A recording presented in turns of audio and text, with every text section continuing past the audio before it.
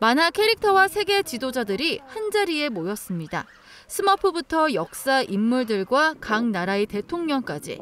심지어 푸틴 러시아 대통령과 젤렌스키 우크라이나 대통령은 어찌나 친한지 어깨동무를 한 모습인데요.